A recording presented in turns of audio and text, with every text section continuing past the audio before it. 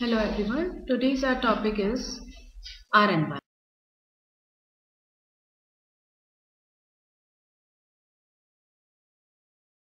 Environment means surrounding in which you can see living and non-living component. Both are correlated together. Living being like human, different kind of animals, microbes, these are involved here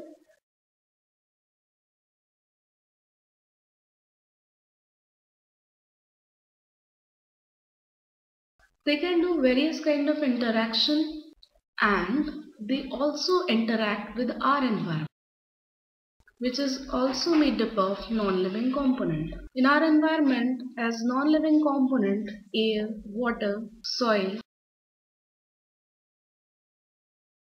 temperature, light, and other climatic factors are also considered. Non-living can interact with living beings. they give a specific impact on them and just like that living being can also give impact on non-living factors as you know very well.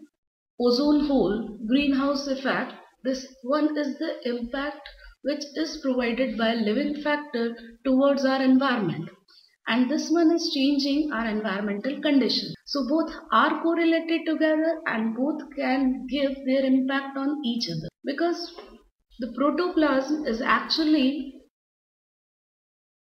this one is the physical basis of life. After the protoplasm life start as cell, tissue and later on you can see here organ after that organ system. Later on you can see organism is here. After organism the first this uh, exactly this organism form the smallest unit of our environment that is an individual. This one stands here as individual But in a previous view, we can see this protoplasm is also made up of. It's a colloidal solution or mixture of various compounds.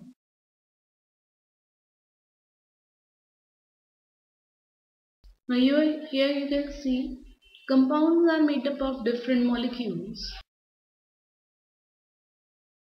and every molecule is made up of atoms. Atoms contain subatomic particle, electron, protons and neutrons. So here you can see the life is correlated with non-life directly. This is the barrier line between life and non-life. Here all the things correlate to life. It's a living world and rest of the part is showing to non-living.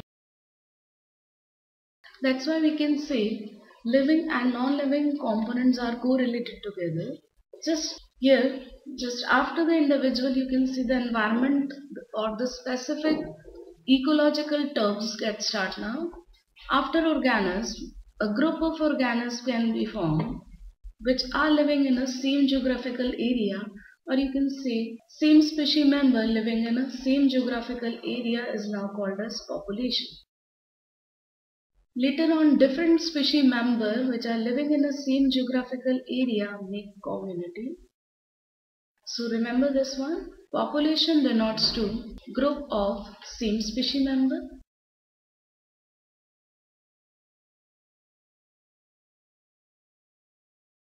While community relates to group of different species. After community, the next term arise is called as biome ecosystem which is also known as the structural and the functional unit of ecology.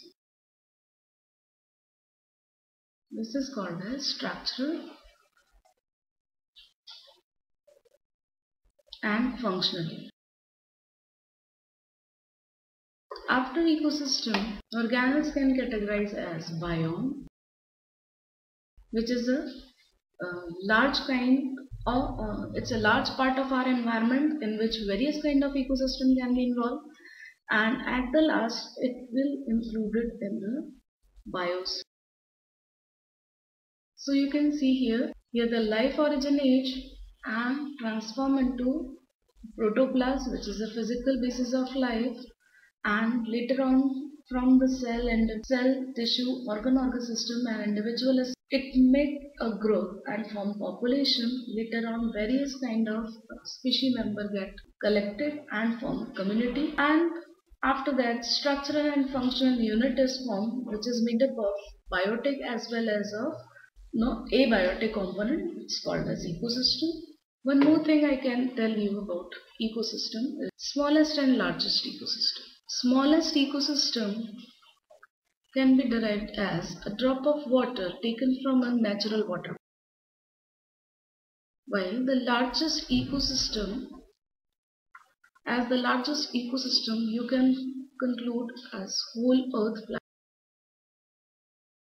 So an ecosystem can be small like a drop of water or it can be too large like the whole earth. Study about all these is done in a branch of science and that branch of science is called as ecology. This term was first of all given by and this term was clarified by exactly the meaning of ecology can derive as eco exactly originate from a Latin word called as oikos and another word is logos. Oikos means surrounding, while logos means to study. So this one is the study of our surrounding, known as ecology. And Haeckel defined ecology as it's a Haeckel defined ecology as a group of biotic and abiotic component which are correlated together and make a perfect kind of system and we have to study all kind of interaction which are going on in our environment. This these all the structural and functional these all the structures and function we study in ecology. Now the father of ecology is Ritter. And father of Indian ecology in India a lot of work is done by Professor Mishra. So he also known as the father of Indian ecology.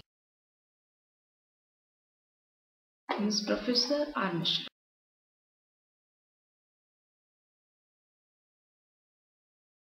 Now about the structural and functional unit of ecology that is ecosystem.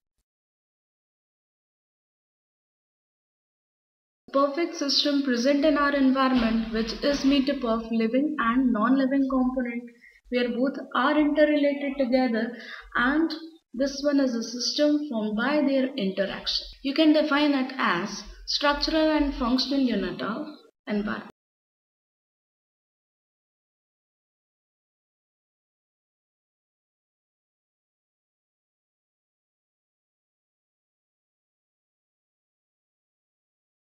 And, you can also define it as the total group of living things and environment of factors present in a particular place is called as ecosystem. So right now we can say two kind of components are found in our ecosystem. So the next point is component of ecosystem.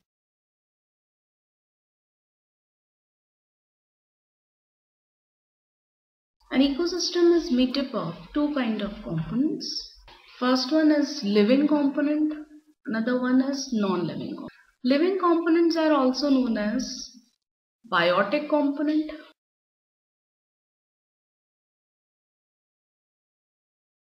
while non-living components are called as abiotic component.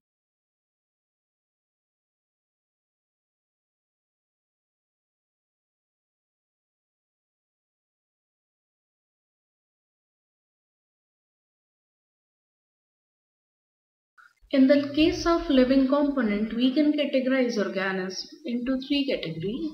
First one is called as producer. Second one is consumer.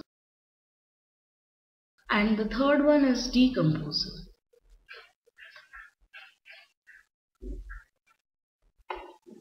Well, in the case of abiotic component, we can categorize the non-living factors into two categories, physical and chemical.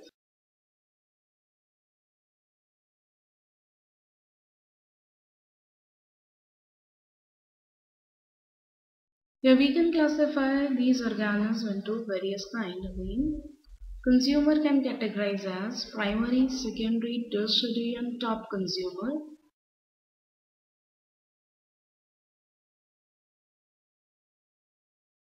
Primary consumer is also known as 1 degree consumer. Another one is secondary consumer that is also known as 2 degree consumer. Next one is tertiary consumer. It's also known as 3 degree consumer. And the next one is top consumer. Usually in a food chain, 4 to 5 organisms are involved. But if the food chain is too long, then after tertiary consumer, there will be more kind of consumer like quaternary, penternary consumer and so on. In our next lecture, we will discuss about the detail of biotic and abiotic component. Thanks everyone.